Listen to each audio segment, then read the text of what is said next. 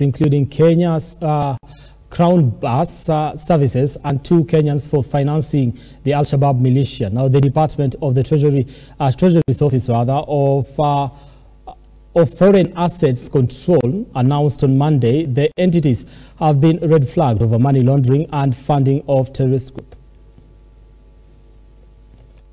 As the fight against terror groups gains momentum, the Office of Foreign Assets Control, OFAC, has named Dubai Best Haleel Commodities, also known as Haleel Group, as a key financial facilitator for Al-Shabaab. UAE Best Kimat Al Najjar General Trading helps to manage and transfer funds for Al-Shabaab in connection with Haleel Group. Kenya Best Faisal Yusuf Dini, working closely with Mohammed Jumale Ali Awale as an Al-Shabaab financial facilitator, leveraging Haleel Group and some of its leadership to transfer funds on behalf of Al-Shabaab and manage investments which include the Crown Bus services. Crown Bus has also supported the Al-Shabaab logistic operations. The 16 OFAC said are part of an expansive business network spanning the Horn of Africa, the United Arab Emirates and Cyprus that raises and launders funds for the terror formation.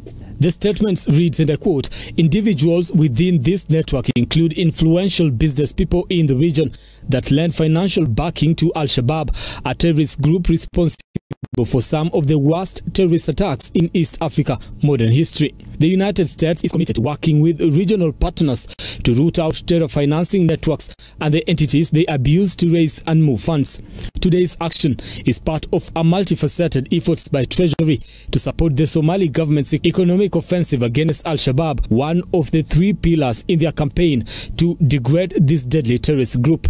OFAC also sanctioned firms based in Dubai and Uganda. Hassan Abdirahman Mohammed, a Finland-based Somali citizen, uses money transfer and Hawala businesses to support Al-Shabaab's money laundering operations linked to the network of Halil Group and Kimat Al-Najjar General Trading. Branham Up TV, Nairobi.